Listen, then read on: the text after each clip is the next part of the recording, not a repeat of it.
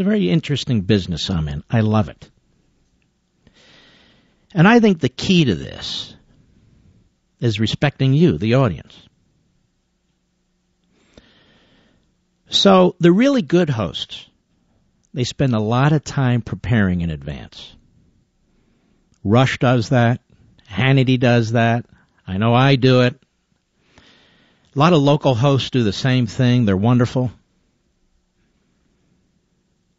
And then there are others.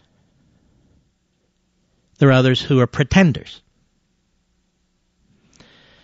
And they tell you how different they are. And they spend the entire show telling you how different they are. They're not really different. They're lazy. They're weak. They lack substance. And they're jealous. And so they go on and on and on about all the degrees they have. When 20 years ago they're selling vitamin supplements. Go ahead, Google it. Or they'll talk up Vladimir Putin. This guy is great. And how dare anybody challenge Russia and Putin? Excuse me? They're Putin sympathizers. Putin, who's a fascist. Putin, who's now trying to conquer the countries around him, despite a 1994 agreement with Ukraine. And so now anybody who wants to challenge Putin wants to go to war and use nukes. This is a very small mind of a guy that used to sell vitamin supplements. Putin's good and the founding fathers are not. Right? Putin's great.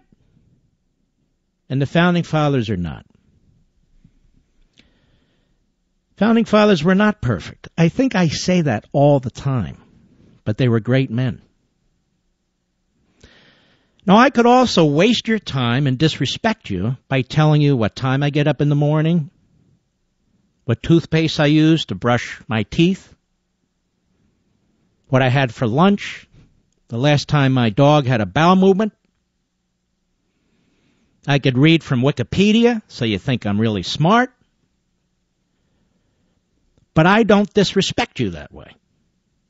And I'm never going to disrespect you that way. This is a very honorable business that we're in. We're very lucky to be in it, to have the opportunity to talk to millions and millions of you.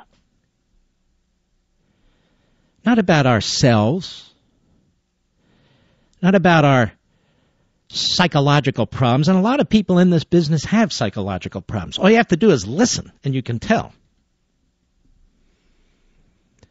Over and over again, how you're trying to be different. Over and over again, positioning yourself. I'm asked many times by young people, how do you, how do you get into radio and how do you succeed? Well, the bottom line is be yourself. Don't be a fraud. You don't need to trash everybody else in order to build up your own five foot three physique. Be yourself. And I would tell young people, if you want to get into this business, that's how you build an audience. You respect your audience. Nobody wants to hear endlessly about your habits, what kind of food you stuff up your nostrils, when you defecate in the morning, how many homes you have, that you can put one foot in front of the other and walk. Good for you. Who cares? Nobody cares.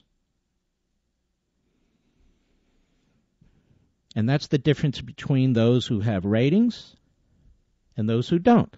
Those who have successful shows and those who don't. Now, I can go on the air and tell you about my degrees tell you about my grades, tell you about my honors, tell you about my awards. Why? The little pukes do that. You can go online and find out about all of us. Some of it's true, some of it's not true. But I want to stand up for this format, and I want to stand up for most of the hosts who do this day in and day out and do it well. And do it very, very well. And these are men and women who actually believe what they say. They weren't radical leftists. They never donated to Jerry Brown. They never did all those things. They're serious people. They want to entertain too. You know, we need to have an audience. They're not entertainers. But it's important to entertain. So you'll never hear me come on here and tell you over and over again who I'm not, why I'm not, and all on blah blah blah, and on and on and on. You won't hear me talk about, you know, all those human functions and habits that nobody gives a damn about. It's not funny. It's not entertaining. It's not smart. Any homeless person can do it. Matter of fact, I suggest maybe that homeless person should try it. I just mention this because of how wonderful most of the people are in this business, most of the hosts. Most of the hosts respect you. They're not snorting fortune cookies and uh, lo mein down uh, during breaks in their show and then burping on the air.